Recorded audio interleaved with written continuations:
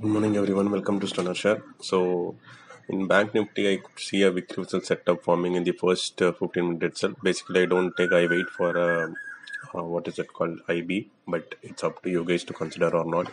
So, this is a reversal setup. So, let's calculate the high to low so that we'll know what is our target. Basically, we go for one is to one, right?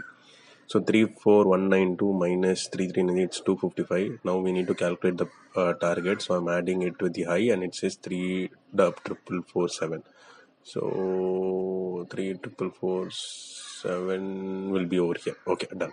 And now what you need to know is like what is whether that is a resistance zone or support zone or what will happen at that zone. So if you guys see over here, yesterday or Friday it has got uh, rejected and then went down. And at the same zone it had got uh, like reject not rejected and broken and went up but again fallen today. So these two zones will act as a good uh, uh, support and resistance zone. So i'm not sure whether it will cross that zone but it might touch and re- uh, reject or it can uh, just go till there and reject. So let's see what can happen. And next one is like hdfc so these are the two things in radar. So HDFC, uh, my preference is like buy above uh, 15 minutes top, 15 minutes first 15 minutes high or 15 minutes low.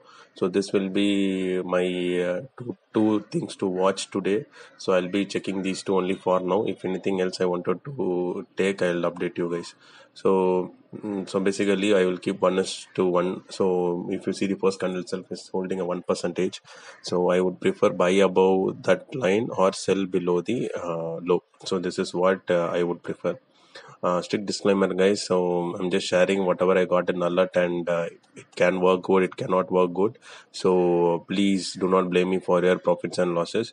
Uh, try to uh, trade cautiously, and uh, let me know in case of any concerns. Thanks a lot. Stay tuned for more videos.